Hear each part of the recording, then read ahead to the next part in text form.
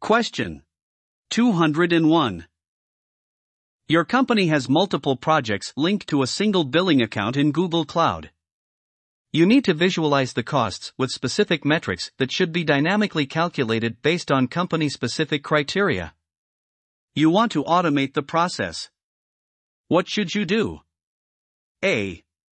In the Google Cloud Console, visualize the costs related to the projects in the Reports section. B. In the Google Cloud Console, visualize the costs related to the projects in the Cost Breakdown section. C. In the Google Cloud Console, use the export functionality of the cost table. Create a Looker Studio dashboard on top of the CSV export. D. Configure Cloud Billing Data Export to BigQuery for the billing account. Create a Looker Studio dashboard on top of the BigQuery export. Now think for 5 seconds for the correct answer.